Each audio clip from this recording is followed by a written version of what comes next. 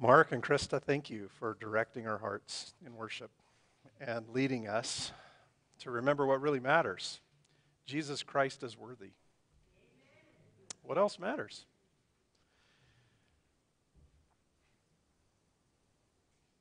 I'm grateful to be gathered intentionally with like minded folks in the name of Christ. It's a little bit of effort sometimes to come to worship, isn't it? Oh, it's so early in the morning. I hear that often. I guess that's true. Would they come if it was later? I don't know. I, I see a mixed response. I get answers both ways. But I'm here with you with all of my heart. I love that Sunday happens to be the first day on the calendar of the week. We are here in the morning. We're here to give the first part of our week. Maybe for some of you, the very first waking hours, I don't know. Some of us have been up for hours and hours and hours up to this point. I know that some of you have too. But Isn't it good as a gathered people to make this our first activity together? We're just here to lavish at Jesus' feet our appreciation, honor, love, devotion, beautiful music, attention, care for one another. I always enjoy the reunions that happen here. I love seeing folks giving hugs and smiles and catching up on what's going on. Some of you commiserating with the poor Redfords who are getting ready to move. Some nervous giggles. We put out a plea for help this week. In the first 24 hours, dear Luana replied, I'll be there with my Honda. I love you, Luana. I am looking forward to seeing you there with that Honda. And I don't know how we're going to get that piano in it, but we're looking forward to it. Thank you. Actually, since then, I have had a commercial vehicle offered with a lift. That is awesome. It'll still be fun to try to get the piano and the Honda, but we'll see how this all goes. In the midst of busyness, my life has really, there's Lou right there. In the midst of our busyness, isn't it good just to put everything down and to stop? And to remember what theme Krista has found in her music that Jesus is worthy. As you pack up 21 years worth of memories and things and stuff, it really gives you perspective about what's going to last and what isn't going to last. I was privileged yesterday to lead a wedding. And it was a wedding for one of our dear baseball friends. Their son found a wonderful gal. And what a joy to be part of this service and probably a dozen or so of Kyle's teammates, I'm talking from age six to age 18, were there. And so we spent a lot of time with these people, yelling at umpires and traveling and uh, celebrating victories and mourning losses. you just really share life when you do that. It's like a, a different family that you have. Those kids all got together and had a picture together. And it really made me think about what matters in our lives. It really made me think about what lasts. I can, I can still picture those kids with little boy faces and um, uniforms that were too big.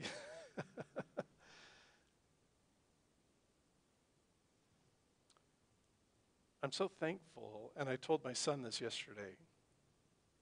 I'm so thankful that he has put Jesus first in his marriage and in his life. And both of us grieved a little bit for some of his friends that are not doing that. And so I can't help it. Through this whole week, I've just had so many reminders of what really matters for us. Today, I invite you to turn to Psalm 1.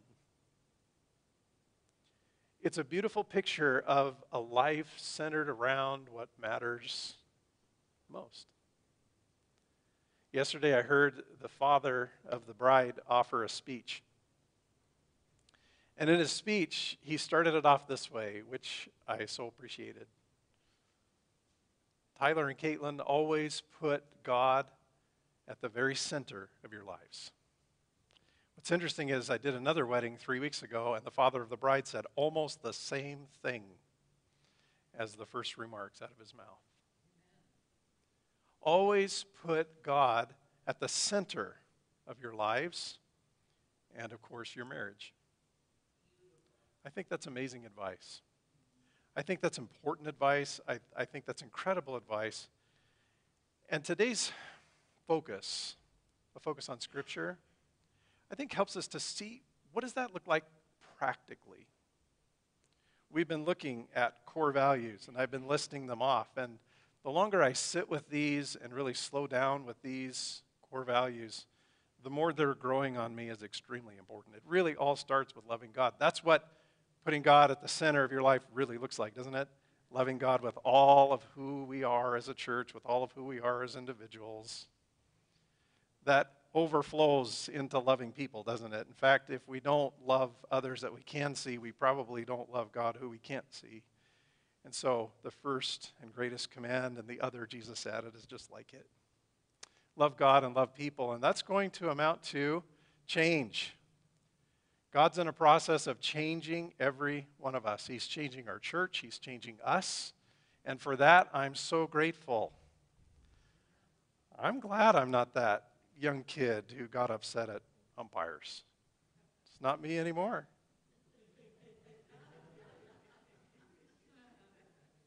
I wonder what it's, how it's going to be different to see grandchildren on the other side of that fence. You know, little kids' baseball is wonderful except for the parents. And I was one of them, I think, from time to time. God's changing us, He's transforming us. We celebrate God's presence as a church 24 7.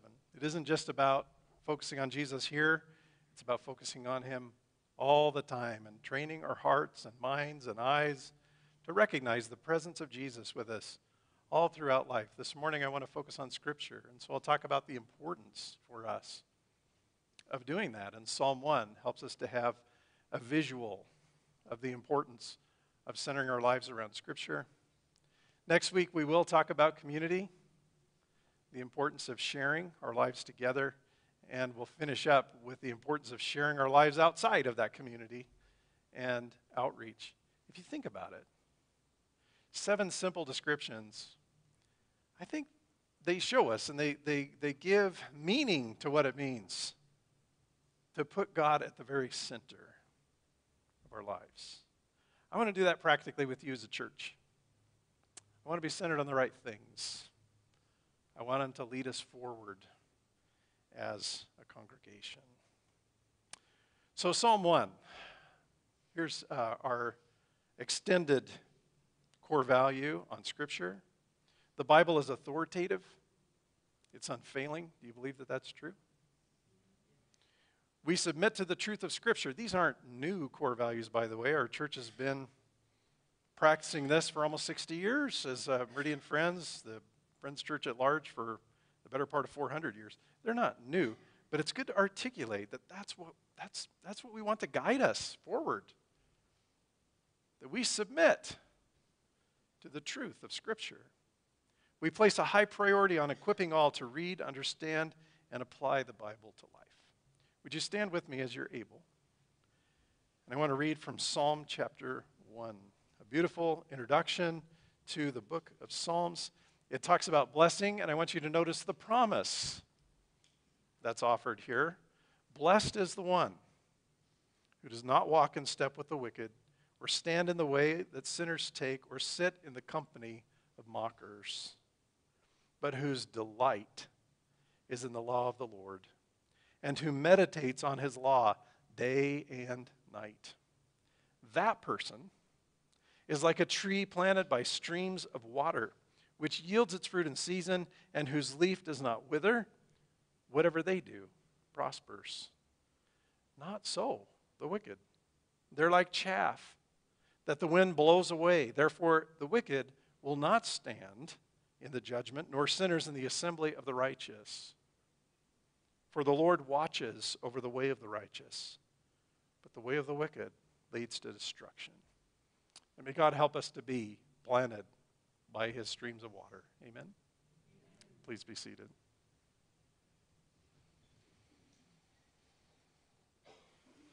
Psalm 1, I'm sure you noticed, begins with the word blessed. Is a description of what life can look like. It can look like a blessed life. So the first couple of verses help us see that tree that's flourishing and has deep roots that are nourishing this plant. But then in the next couple of verses, we see what it looks like not to be in the place of blessing. There are two kinds of promises in Scripture there are unconditional promises and there are conditional promises. And Psalm 1 is a description then of a conditional promise. It's an if when. If we do this, or when we do this, then we receive something out of it. So many people admire the Bible. They would never speak against it. They might be somewhat superstitious about it in terms of treating it with respect and gentle care as a book, as something that's in front of them. They might revere it in that way. They might even say that they believe it, but they don't drink from it constantly. They're not rooted in a sense of letting it change their life. They don't spend the time to get familiar with what is in the scripture. And this is a conditional promise. It's conditioned upon our root system, if you will. So I want to talk about these wins, these if wins. If we'll do this, when we do this, then. I want us to see that because I think that that is so important for us to get a grasp of here. So I'm going to give three conditions for the blessing that's available to us in Psalm 1. The first one is this We are blessed when we welcome the authority of God's word. When we welcome it. You know, the truth is, God gives us a choice as to what we welcome and what we reject, or what we welcome and what we ignore. Am I right? We're not forced, actually, to believe anything. You can believe whatever you want to believe. Romans talks about that, by the way. Instead of believing what they knew that was the truth about God, they deliberately chose to believe lies. Is that an accurate description? We're given free will, we're given free choice to accept or to ignore, to focus on or to reject. That, that's our choice. If you want to believe in Bigfoot because you saw that on YouTube, you're free to believe that.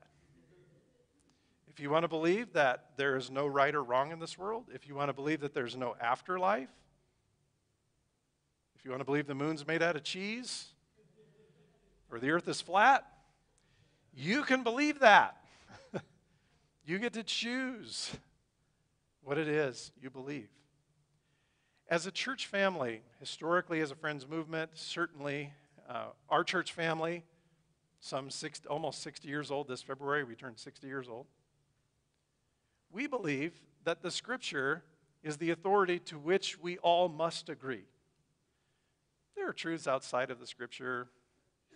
The unity prefer is, is a Macintosh better than a PC? You won't find that in the Bible. And you might have some differences in our church about those kind of things, other truths that are out there. The Bible doesn't answer all of those things, but it says that it's capable. Its purpose is to make us wise unto salvation and to give us reproof and correction and training in righteousness to prepare us for good works that God has in advance for us to do. So the Bible has a very specific purpose to draw us to Jesus and to change our lives. And for that, it is absolutely infallible, it's accurate, it never fails. Right? That's what we believe. It's voluntary as to whether people choose to accept that. I'm here to say we voluntarily accept that. We believe that what God says in the Bible is true, and we welcome God's authority over us. I read this story about a captain of a ship who looked into the dark night and saw a light in the distance. Immediately, he told his signalman to send a message Alter your course 10 degrees south. Send that. Well, promptly the ship received a reply Alter your course 10 degrees north. The furious captain sent another message Alter your course 10 degrees south. I am a captain. Soon another reply was received Alter your course 10 degrees north. I'm Seaman Third Class Jones. The captain sent a final message Alter your course 10 degrees south. I am a battleship. The reply was Alter your course 10 degrees north. I am a lighthouse.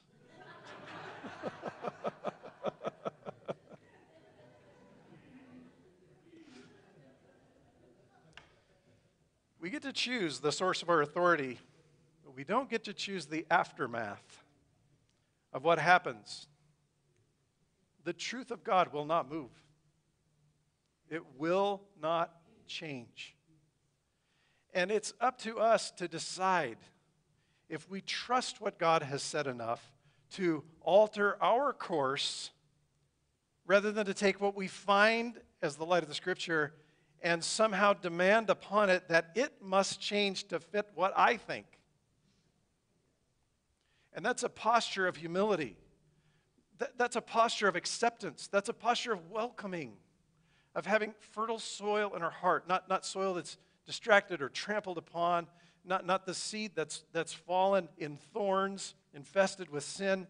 It's the heart that is receptive to the planting of God's seed and letting that take over, not the other way around.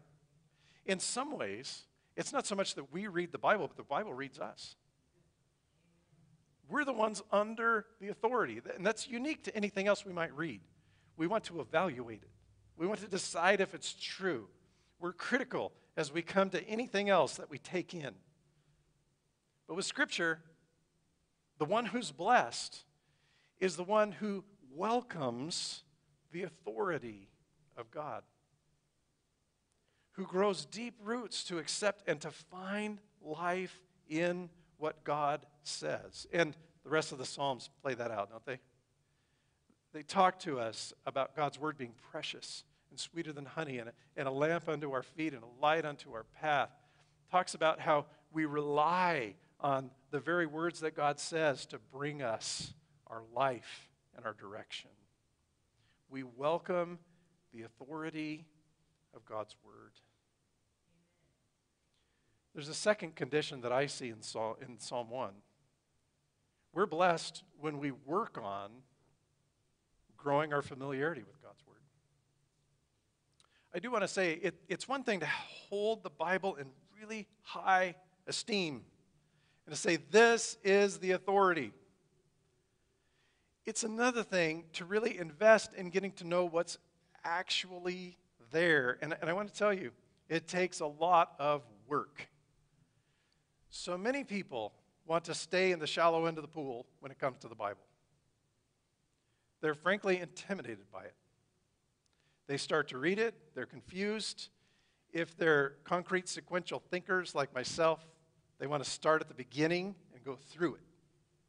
And if you've done that, you're amazing if you made it all the way through, all by yourself.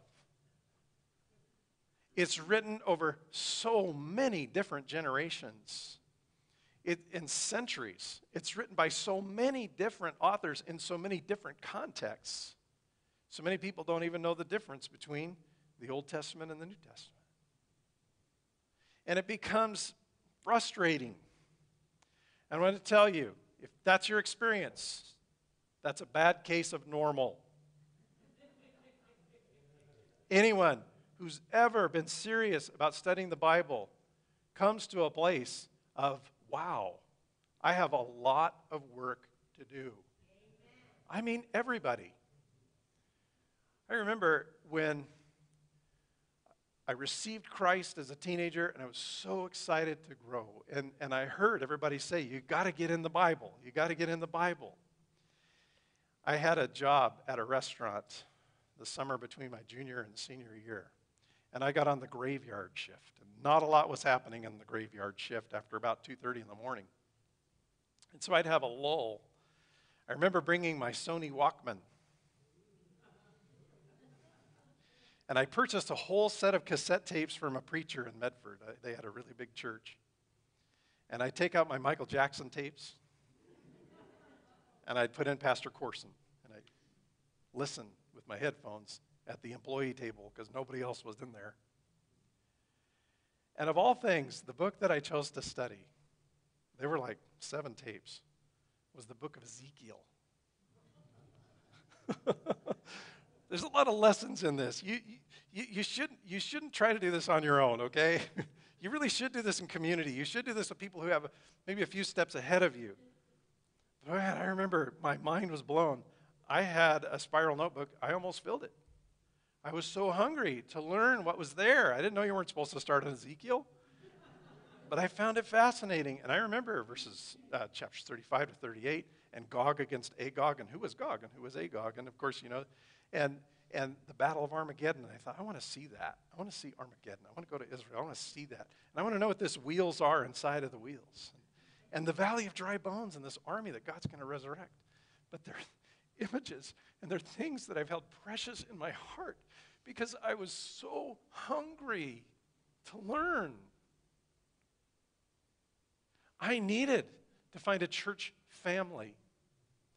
I needed to find people who could guide me and could help me the way a, a, mom or dad or grandparent would walk their child through at an early age, step by step by step. But I was hungry. And I don't understand how some people just give up. And, and they're content to just stay in the shallow end of the pool. My encouragement to you is dive in the deep end. Dive in the deep end where you have the safety of others around you, okay? That's one thing. You're here in context. Don't be afraid to walk into a Sunday school class that's over your head. Why not? There are others there who love you, who care about you. Don't be afraid to dive in. What are you afraid of? Well, it's my pride. I don't want to look silly. You're not going to learn to swim if you don't. Let me ask you this Is it more dangerous to dive into the deep end of the pool or to dive into the shallow end of the pool? Don't stay in the shallow end of the pool.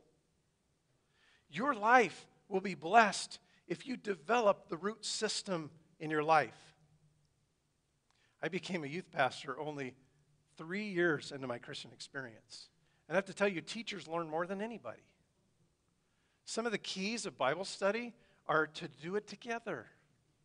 Don't be afraid.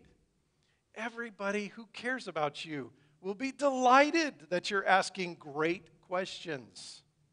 They'll be delighted. Talk about what you're learning. Don't try to do it by yourself. Put it into words. Explain to your small group. Get into those contexts where you're going to learn, whether it's a women's study or a men's study or Bible study fellowship or Sunday school or wherever. It's there. I didn't have the internet then. Imagine. we can consume what we choose to consume. I want to ask us, Meridian friends, are we growing? If you think about a tree, a lot of a tree is below ground. And I, I read some conflicting information based on species, of course, on the types of trees. But as much as 50% of this living organism is invisible because it's underground. And such a great description of our feeding on the Bible. It, it isn't something that other people necessarily need to even know about. It's you spending time with God's Word, reading and listening and investing. And your non Christian friends, it, they may not be that interested in it, but they'll see it in the life that's above ground. Not so with those who don't welcome or work on God's word.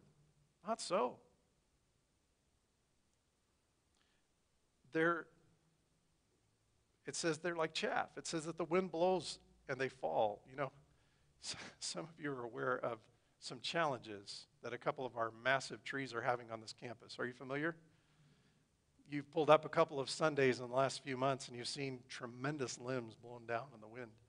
Well, we got an arborist up there. They cut out several of those limbs, and sure enough, what they're finding is it's dead inside. I don't know much about trees, but they said that this is a level nine alert to get those trees out. So, unfortunately, the whole trees have to go. They left some samples. Did you wonder what this was? You know, usually they put bright, colorful flowers on an altar table to brighten your Sunday, to help you feel alive and refreshed and thinking about God's beauty. But not me. I brought you rotting branches. Course, what's important about these is you can see in the center there's decay. There were some limbs they took off that were this big that were almost completely hollow on the inside. And those are the ones that come the windstorm, they fall down. A little bit dangerous for us. It's right over where the bicyclists go by and cars park and people walk and everything else. So those trees will be eliminated at the right time. We have to get a permit with the city of Meridian. They're old growth trees by the road they won't have any problem with it. But it's going to happen. But I bring them here to show you how beautiful they actually look on the outside compared to what's really going on on the inside. What's on the inside brings life. We can look good maybe for a really long time. Those trees have been out here as long as I have 30 years. I've been seeing them. I know that they're much older than that because they were that size when I got here. So some of you will know, maybe a little better than I do, how long those have been around. But at some point, they stopped thriving. And I think we're like that in our Christian life at some point. We just stop working on it. We get to a place where, hey, you know, I've done my time. What's next? When the wind comes, we're going to find out. When the storms of false teaching or adversity or temptation or whatever it is assault the strength of our spiritual lives, they're going to tumble.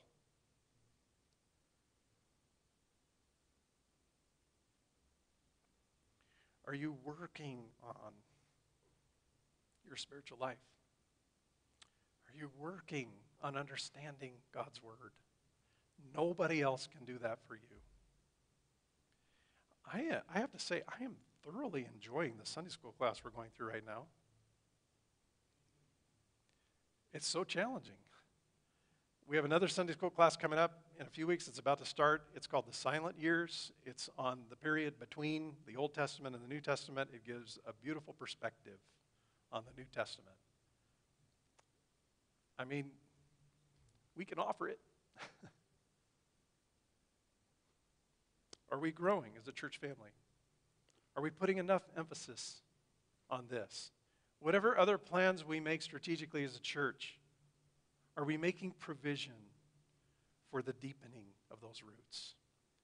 Every time our small groups get together, every time our youth get together? Are we spending time deepening those roots? Is it our priority? Here's the third condition, of course, when we walk according to what we hear. It is one thing to welcome the authority of Scripture, it's one thing to keep working on it. But what happens when you find out there's something in there that's going to cause you to make a change in life you simply do not want to make. What if you don't want to listen?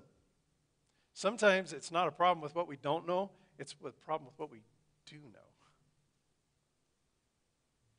Blessed is the one who does not walk in step with the wicked, or stand in the way of sinners, or sit in the company of mockers, but the one who absolutely delights in God's ways. I want to lead us into a time of open worship, and I'm going to do that by reading from Matthew chapter 7.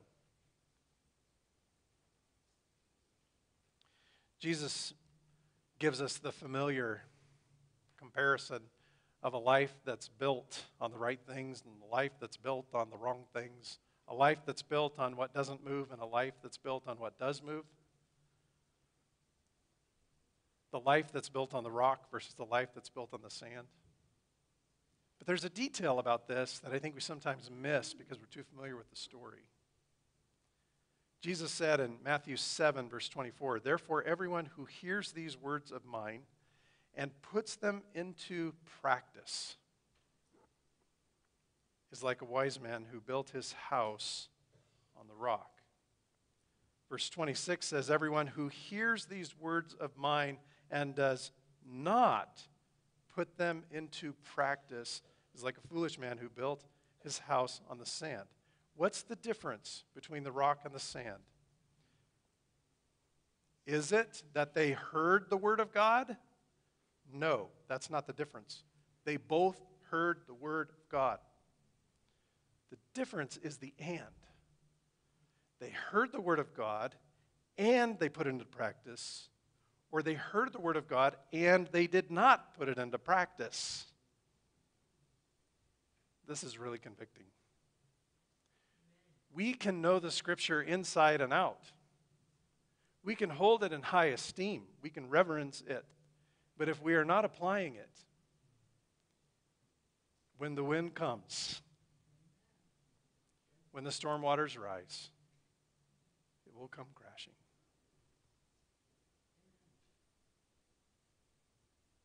As we take a moment just for some silent prayer and listening, hear the word of the Lord. Therefore, everyone who hears these words of mine and puts them into practice is like a wise man who built his house on the rock. The rain came down, the streams rose, and the winds blew and beat against that house, yet it did not fall because it had its foundation on the rock. But everyone who hears these words of mine and does not put them into practice is like a foolish man who built his house on sand.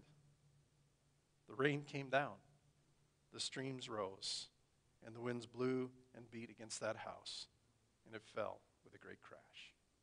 Would you join me in a moment of silence, listening in prayer, inviting the Holy Spirit to speak to you and your condition?